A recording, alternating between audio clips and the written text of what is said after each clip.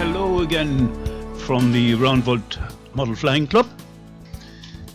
Recently we had some very heavy storms with gusts over 120 kilometers per hour.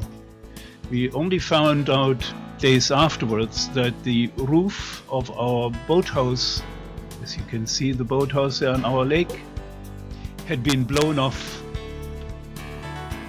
Open the boat. The boat is waterproof, but it's the uh, what do you call it? Well, then have a look at your Tronny. Where is it? Like it there. You don't know how long they were in the rain. I rain. know, I know. So we only found out about the boathouse two days earlier, and one of our colleagues, Bevan, transferred the equipment, damaged and undamaged, back into the safety of our clubhouse, 200 meters away.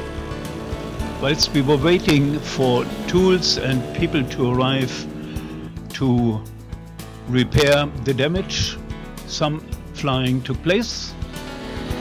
Here, our friend Olli. This is Hannibal. And Andy with his Yak 55.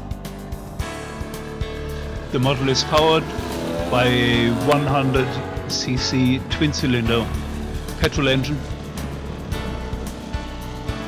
But let's go down to our lake, which we uh, built up after we purchased the swampy site and made good use of a lot of the water present at the site. So first investigation of the damaged uh, boathouse uh, showed that the roof came down in one piece, too heavy to be lifted. We could also see that the walls of the boathouse were bent and uh, a lot of adjustment has to take place. We wait for tools. So let's have a look how Liam flies his Caro trainer with the smallest petrol engine. I think it's only around 18 cc.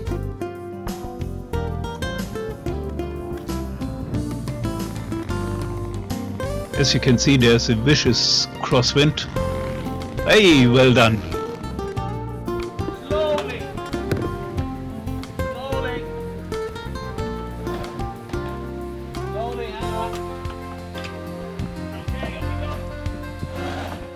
So the first half of the roof is uh, secured and now they're working already to secure and uh, straighten out the second half. Let's watch.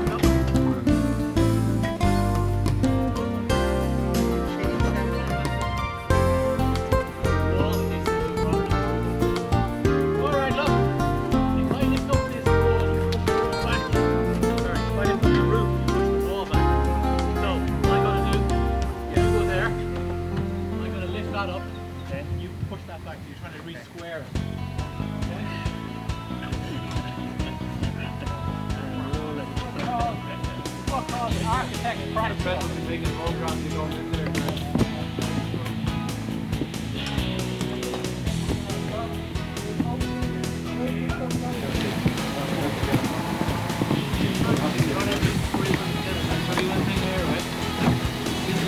way there's a gap there.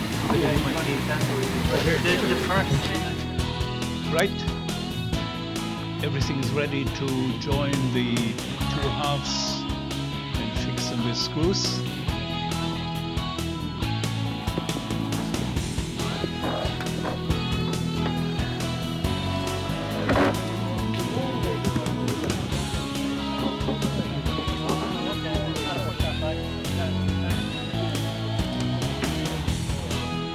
The front wall has to be pushed back on the right hand corner And the only way to do it properly is to lift the roof at that side again, and there they do it.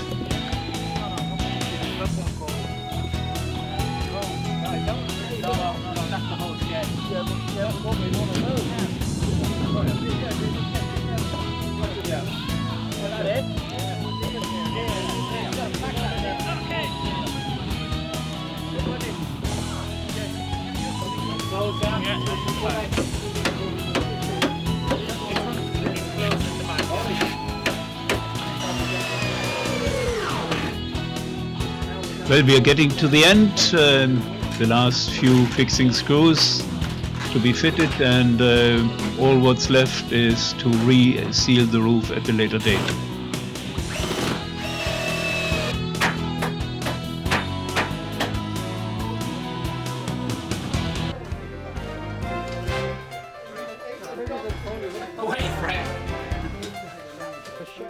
That was a job well done, and uh, I think everybody is entitled to a smile or two. The last security fitting to assure the roof can't be easily lifted by the wind again. So that, just put that on and we do it. Just put it on and we do it.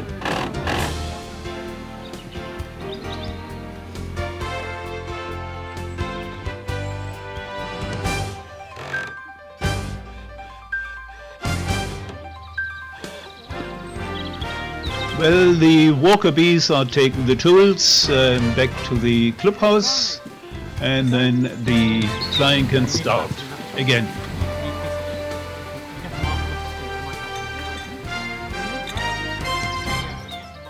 To finish off our little clip, a few photos looking back at the repair work being done. Using also photos made by a different camera than the video camera.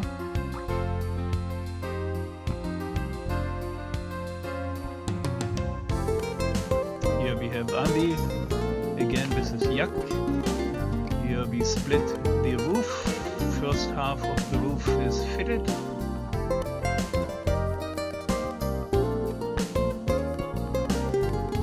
One more aerial view of our lake and uh, boats house and here part of the flying site. Now we are going to come in with our electric plane with the mounted video camera and um, you can see me on on the left of the approached runway controlling my cup 221. The eagle has landed.